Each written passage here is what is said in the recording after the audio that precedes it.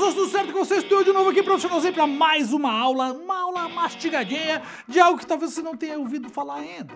Mas eu vou te ajudar com uma parada muito legal chamada ditongos orais e ditongos nasais. Existe? Existe. Existe. Solta a vinheta.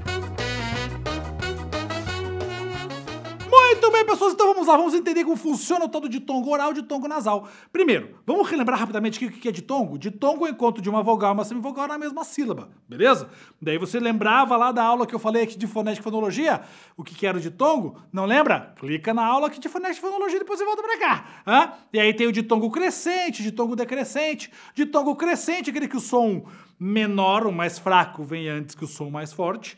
Então ele cresce o som, e o ditongo decrescente é do som mais forte para o som mais fraco, certo? Sai do som mais forte para o som mais fraco. Então você vai lembrar que ditongo crescente sai da semivogal para a vogal, e o ditongo decrescente ao contrário, sai da vogal para a semivogal. Beleza? Tranquilo? Fácil. Muito bem. Então, quando eu falei de ditongos orais, são todos aqueles que na pronúncia, né, semivogal, a passagem de ar é feita apenas pela boca, o som bem aberto, assim. Esse é o ditongo oral, do tipo a palavra pai, ó, pai. Esse é o ditongo oral. Não tem nada nasalizado, o som não sai no nariz. O som sai pela boca, aberto, pai.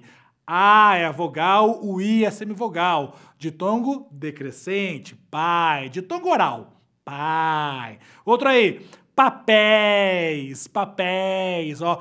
És, o som bem aberto, bem bonito. O som sai só pela boca, papéis. certo? Beleza? Outro exemplo, degrau. Ó, degrau, sai do A pro U, som aberto, degrau. É, tranquilaço. Então esses são os ditongos orais, sem nenhum problema, sossegadex. Agora, tem também a possibilidade de ter o ditongo nasal. O ditongo nasal é bem interessante. Bom, primeiro, antes de eu falar do ditongo nasal, eu lembrei de uma coisa importante. Eu não lembro se eu já te falei, para você deixar seu like, deixar seu comentário, se inscrever no canal. É importantíssimo. Lembra que a inscrição aqui é gratuita. Se inscreve no canal aí, tamo junto. Voltando. Ditongo nasal. O ditongo nasal, então, é aquele que o som sai pelo nariz. Sai nasalizado. É uma verdade. O som sai nasalizado. Então, as palavras que tem lá, ão, né? Tem o tio e o o. Então, tipo a palavra pão pão. Veja que o som sai no nariz. Como assim, professor, sai no nariz? É verdade, ó.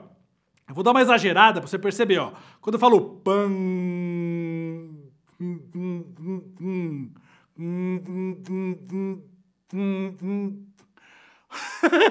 o som sai no nariz, ó. Pão, pão. Não. É verdade. O som sai no nariz de verdade. Não vou fazer ui, ui, né? Pão. Então, esse é um som nasal, o som sai no nariz.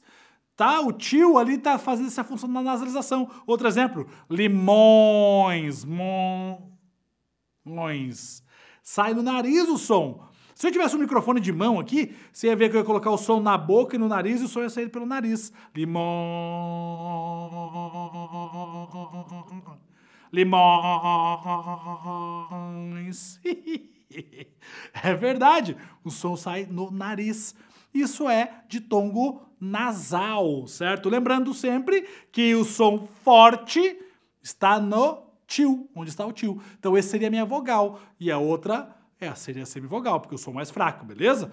Então olha lá. Existe também a possibilidade de você ter o uso do ditongo nasal com palavras que têm consoantes, tipo o A e o M, né? Tipo falam, falam termina com AM. Eles falam. E aí, ó, am.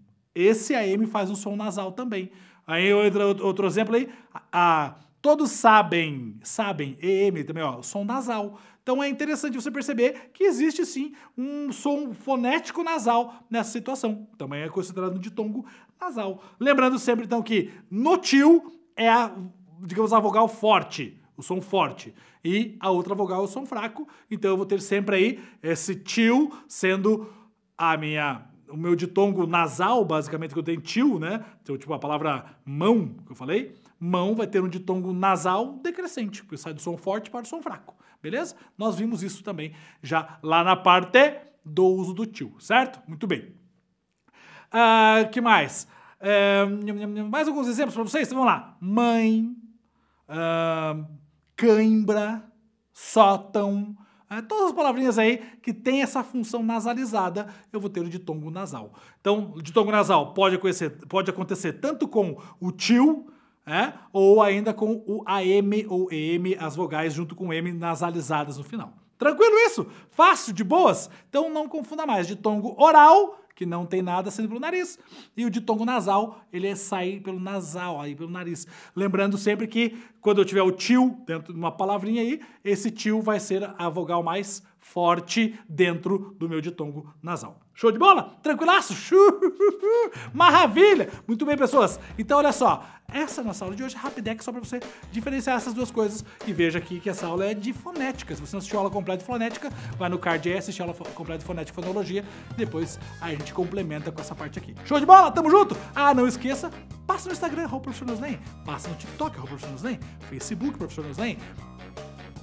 Uh, Twitter, professor Noslen professornosem.com.br. Estamos na área, em todas as áreas, em todas as redes sociais, para te levar a língua portuguesa do jeito mais fácil, simples e tranquilo para você aprender e nunca mais esquecer. Por isso, nunca mais é isso. Tamo junto, um abraço, valeu, fui!